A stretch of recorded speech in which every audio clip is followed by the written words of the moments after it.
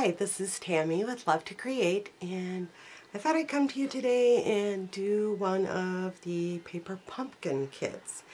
This one is for February and it's got some really cute little Valentine bags. I did make some already with my mom and my sister. We kind of got together and, and worked on them. They turned out really cute so I thought I would make some for my coworkers um, because I'm going to be working tomorrow night. So I'm going to bring those as a special treat. So I've already folded, kind of went ahead and folded some of these just so it would be quicker, but I do have a couple that I'm going to fold and assemble, and then I will assemble these with you. Uh, I am going to do a voiceover for the rest of the video because I'm sure I'll be speeding it up. Otherwise, you'll be watching me forever. So I hope you enjoy the video. So I start out by folding some of the bags, and this is quite a little process, but um, I should have said in my introductory part that Paper Pumpkin is a stamping, Stampin' Up! Subscription box. Comes one once a month, and they have various different little projects in them, from cards uh, to little gift gifts like the ones I'm doing today. But they are really cute. They're usually really cute little projects, and all of the pieces, like you see there, like with the hearts and the banners and even the boxes they're all cut for you, so you just have to pop them off. And everything comes with it, like the adhesives, uh, if there's any kind of string at all, that comes with it. And the stamps are also included. So it's a really neat little subscription box, I think, and one I still get. But and they always send a little stamp ink pad that goes with so that you can stamp in a coordinating color. With your first kit that you ever get, you will get a little stamp block. I'm using some of my other ones, not one that came in the kit, but you will get a acrylic block with the first kit. So there I was just showing you some of the stamps that came with the set. And the one I end up using, well, I use two. One is a heart border, and then the other one says, I adore you.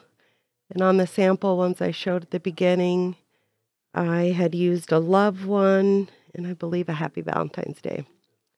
I'm just using my stamping pad here to get a good image. And then I realize, oh, I don't want to get ink on it. So I'm looking for like a project life card that I probably won't use just in case and put that down. I don't think I end up getting ink on it anyway. But the ink that came with this month was Calypso Coral. So now I'm just stamping all the hearts and then I'll go back and do the Adore You. It was kind of hard to get those centered because of the way I'm like working further from myself than I would normally, and I didn't want to put my big head in the frame, so I couldn't like lean into it. but it worked out. They turned out cute, so. Yeah, I will, and I'll put the link below uh, for Paper Pumpkin if anyone is interested in them. And I did do a really cute card that for Christmas that I incorporated in my December daily video if you want to check out what that card looked like. But with this kit, you could actually make 24 of these bags. So it was crazy. There's a lot of material packed in this kit. And then it always comes with a really nice instruction booklet with pictures and everything. And I didn't look at it very good because I first start off putting the wrong heart on there. And then I was like, oh, wrong one, and put it back. And these little arrows turned out so cute. And the nice thing is too, like the bags, I'm gonna definitely make sure I keep one of the bags so I can use it to make one out of like regular cardstock. So it'll be like my template. I've sped this up quite a bit. It's like at four times speed, but I'm going to make 10 of these. And I notice right then that I'm putting that on backwards. But it's really kind of easy. They're easy to assemble and super cute. And I love the holidays. I love doing little seasonal um, projects and giving little gifts out. It's always fun. So, Paper Pumpkin is like right up my alley. They have really good products. And I'm going to end up stuffing these. You could put anything in them. Um, I end up using some little conversation hearts from, uh, I think it's Sweetheart Candies. I think I show the bag later on.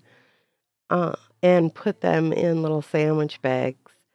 I actually, they have, I know they have smaller sandwich bags that are like snack bags, and those would have been the perfect size because there's not a whole lot of room in those little bags.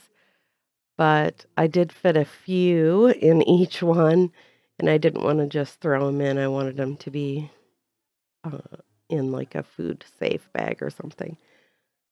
But I'm going to bring the extra bag to where, or what's left over, so that everybody can eat those too.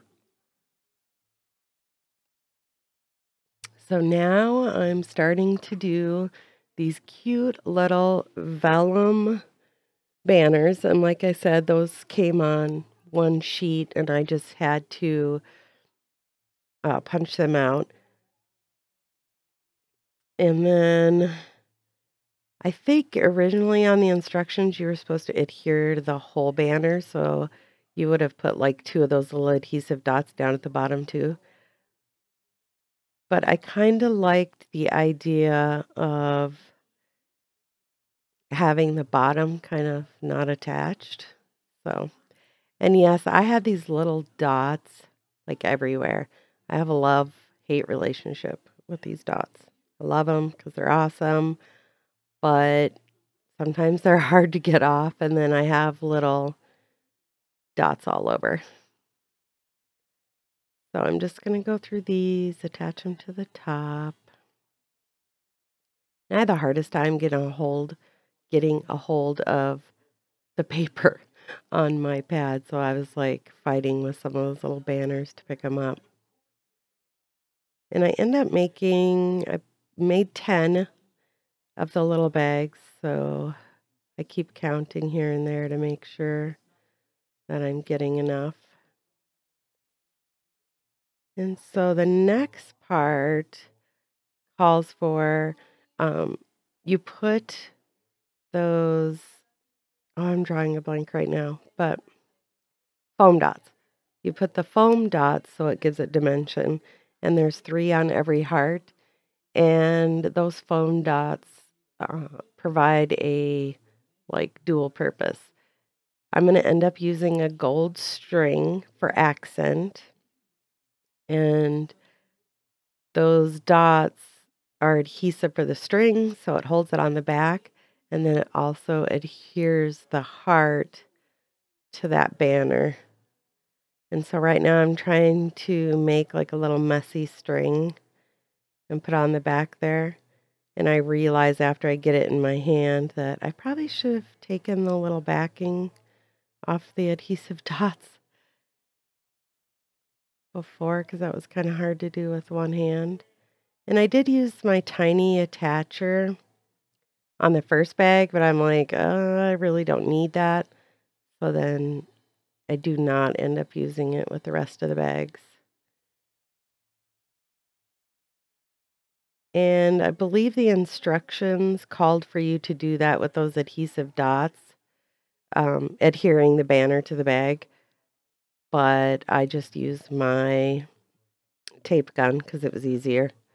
So you actually do have plenty of dots to use for that part. like I said, everything you need is actually in the kit, so it's really nice. So then I decided to do it like assembly line and just get all the banners put on.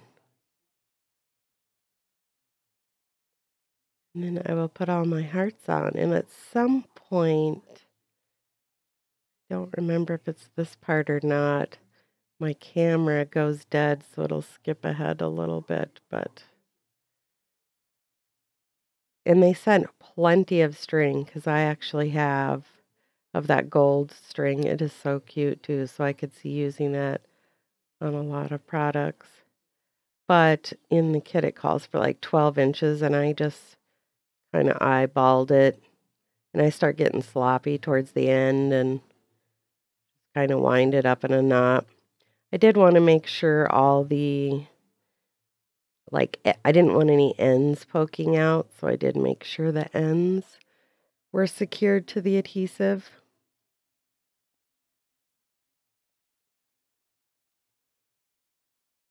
And then I started using a tweezer because it's always easier to get those off.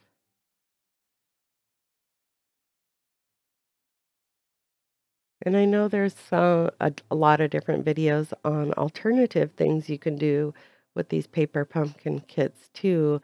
I just sometimes have a hard time thinking outside of the box and just wanted to follow directions and make it. and they're super cute, so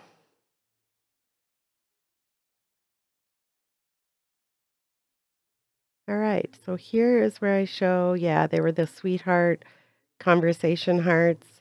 And I'm just finishing up here. I have a little problem. You'll see this like arrow go flying off because I think I have the bag stuffed too much and those little hearts are not going to hold. See? so I end up using my tape gun um, to adhere those down so it'll actually stay down.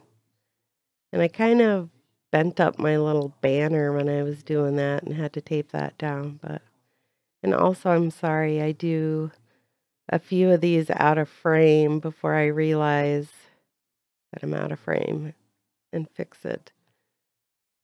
And then, of course, I realize after putting the second arrow in that my other arrow is a different direction. And so I have to fix that. Every one of them have to be the same.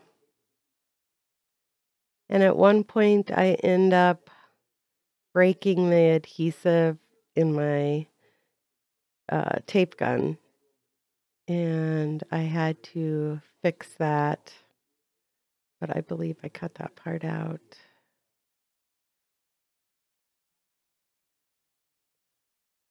And then it seemed to be holding fine. I think I just had too much in there. Those sandwich bags were a little bulky too. Like I said, it would be much better to do it with like those little snack bags because those are like the perfect size.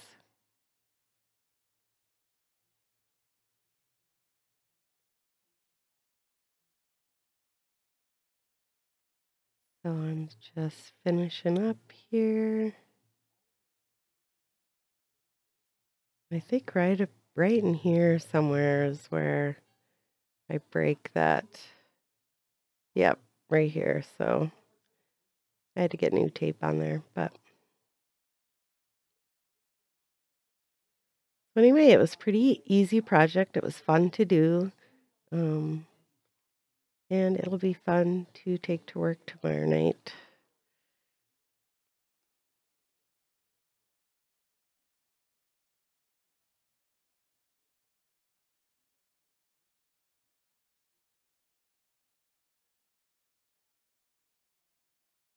Right, so there is all 10 of them done. I hope you like the project. I'll put a link to Paper Pumpkin below. And here's a close-up. Thanks for watching, everyone. Happy crafting.